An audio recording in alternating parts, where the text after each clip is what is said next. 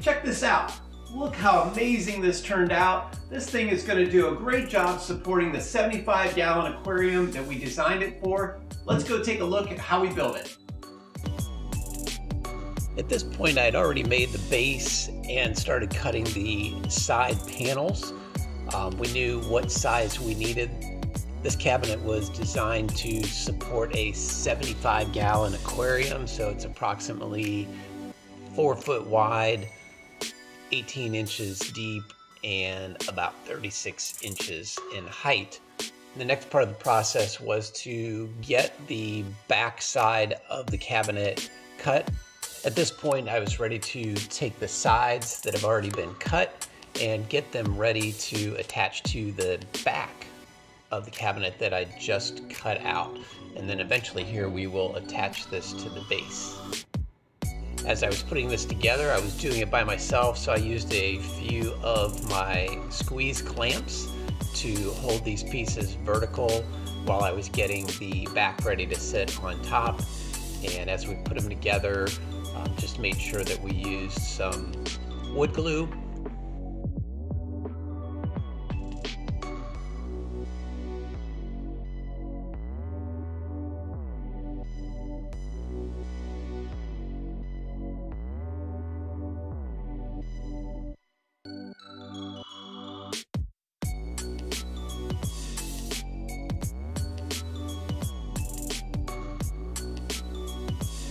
We got the back panel fastened to the sides, it's now time to put it in place on the base.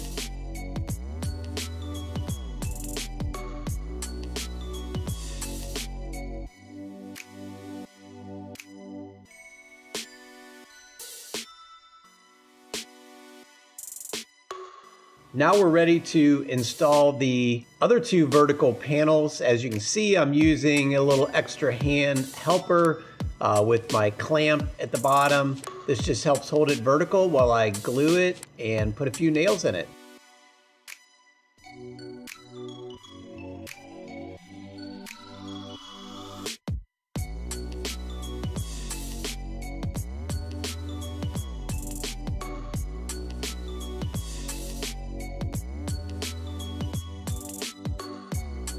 With the other two vertical panels in place, it's time to add some reinforcements. I just ripped down some pieces of one by material and basically fit them in all the way across the back. I did add a little bit of glue and a few nails in it. These will help sturdy up the back side and it'll also give something to fasten the top to when we get to that point.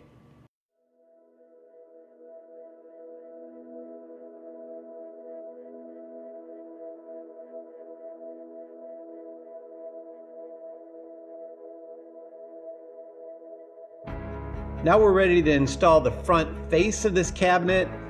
Basically here I've already cut the two vertical ends and the one horizontal piece to size. Let's go install this front face.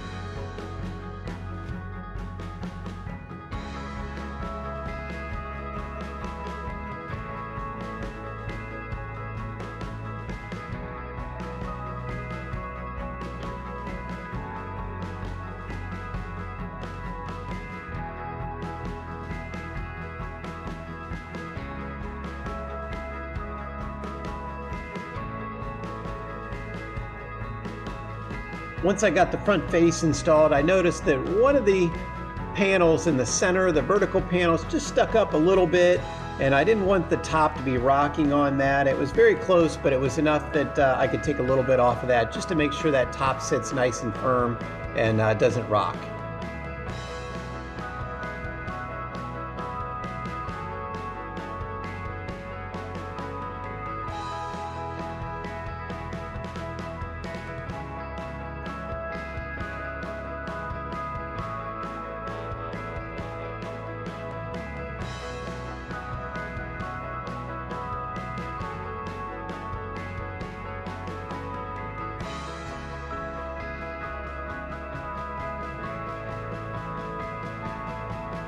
And as you can see, we had a little bit of technical difficulty, just a piece of sandpaper on the belt sander. Um, it split, so we got rid of that, got a new piece on, finished the job up.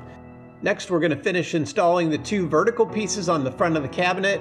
After I ripped these down on the table saw to size, I ran them through my planer just to make sure I have a nice clean edge. A little bit of sanding to take those edges off, make sure that paint sticks nicely to it.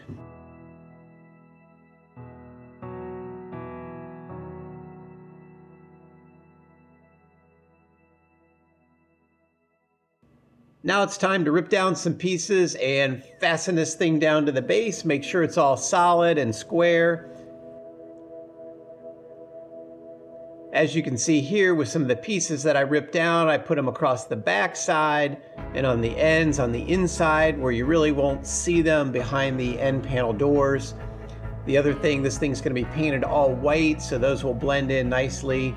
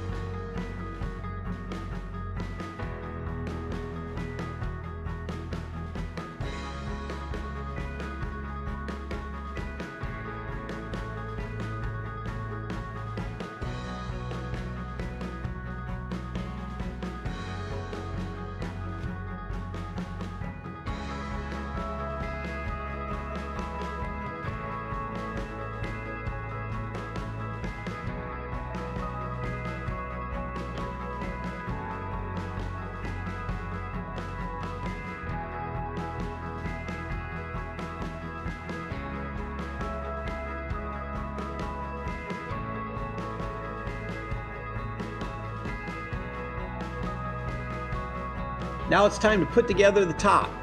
For the top, we're basically just using 2x4 lumber. Try to pick out a little better lumber here that doesn't have as many knots or imperfections in it. Sometimes it's hard with 2x4s, but we got some pretty good wood here. I've run all these through the planer to make sure they're all the same size. Everything fits together very well. These are being put together with just glue and clamps and I am letting these dry overnight. A lot of people say a couple, two or three hours, you can work with it. I thought it was safer to just let them sit overnight.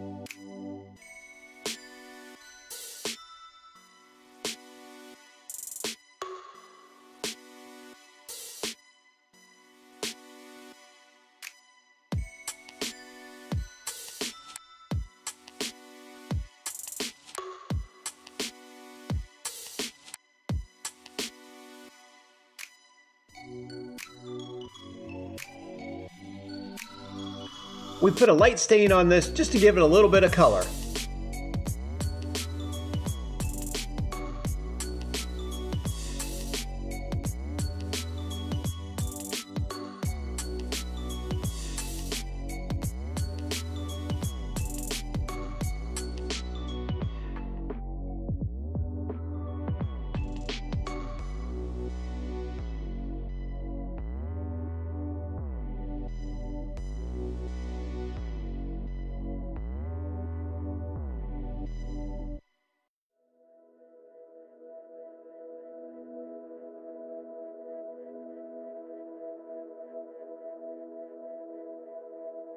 After this top dried overnight, it turned out great. The color's great, finish is really smooth on it. Now let's go put some polyurethane on this.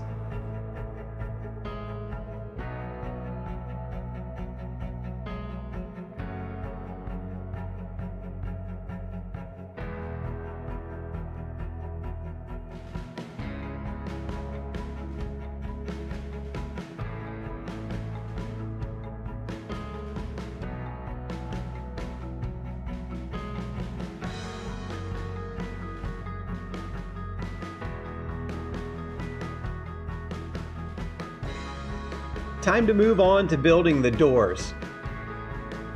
The doors we're building today are a simple rail, stile and panel door. The rails are the horizontal part, the stiles are the vertical part, and of course the panel's in the center. As you can see here, I did a little high level math to determine what size my doors would be. Basically, I just scratched down some numbers and some measurements, found my center points, and just wanted to make sure that I had enough of a reveal. Nothing too high tech. Time to move on to making the rails and the stiles. Basically, I use my table saw to cut an eighth inch groove all the way around both the rails and the stiles. This will allow the panel to slide right in nicely and make a nice firm door. As you can see, I'm cutting the ends of the rails. This will make a nice little tongue that slides into the groove on the stile. These turn out to be a really strong, solid door. This door turned out really great. You can see right now we've put it together and it's just been dry fit. Um, so after we cut those uh, the rails down, and made sure that they were the right sizes, all the pieces came together well. You can see the finished product here. The only thing we need to do now is glue this. So let's let's take it apart and let's glue it.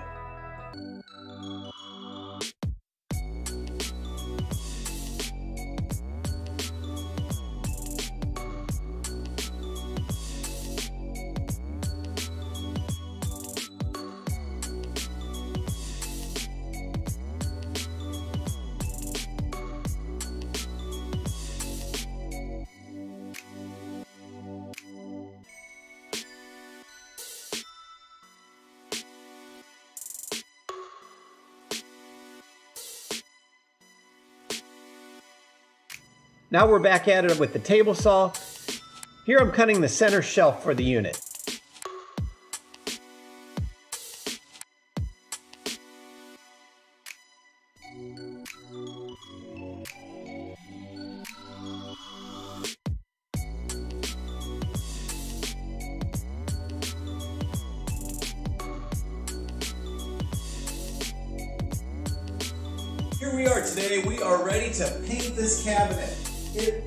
Turned out nice. You can see we've got a nice top on it. We're gonna temporarily take that top off and we're gonna spray out the rest of it.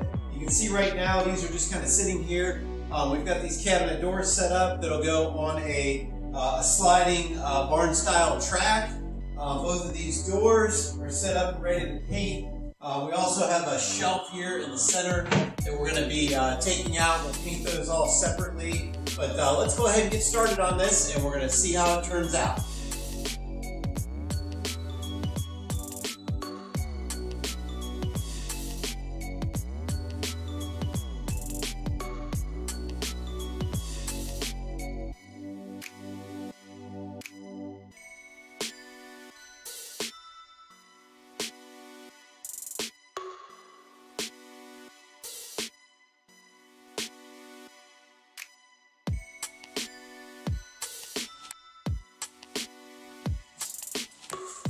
Well, here we are this morning. We are setting up the paint booth. How about this thing? Uh, this was something that I saw online. Somebody had posted a quick way to make a paint booth. And uh, certainly this is not a professional paint booth with exhaust fans and all that. But this thing is going to do a great job of just making sure that we don't have overspray going everywhere. And it was really easy to set up. We had this canopy already. It's just a 10 by 10 pop-up canopy uh, set the canopy up, take some plastic, tape it around the inside, let it hang down, make sure your floor is covered, and you've got an instant paint booth. Paint sprayer experiment was unfortunately a fail. Um, I set up a nice paint booth here, which really would have done a great job um, of containing any overspray, but unfortunately, um, the HVLP paint spray gun that I purchased just did not work out well. Um, I saw some pretty good reviews on this uh, Harbor Freight, uh, which again, Harbor Freight, right? Um, but still, even at that, I think more of it was the consistency of the cabinet paint that um, I had chosen. And I tried thinning it down with Floetrol, just like the manufacturer had suggested and recommended, and just couldn't get the consistency right. And so I did some experiments on uh, some boards in the cabinet, and it just wasn't flowing well. And I didn't think I was going to get a good finish. And we spent all this time on this cabinet, so the last thing we wanted to do was have a mess of a paint finish on the cabinet. After the minor paint booth failure, this cabinet and doors turned out really nicely. I used a Behr cabinet paint on this. Lays out really smoothly whether you're using a brush or a roller. This finish just turned out great.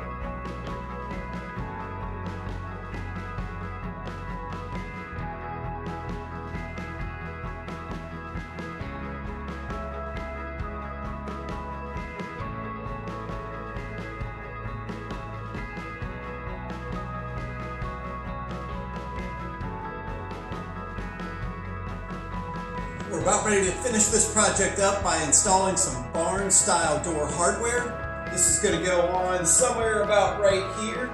Uh, our doors are going to hang down from each side and slide to the center and then finish by opening back out to the ends. Let's see how this looks.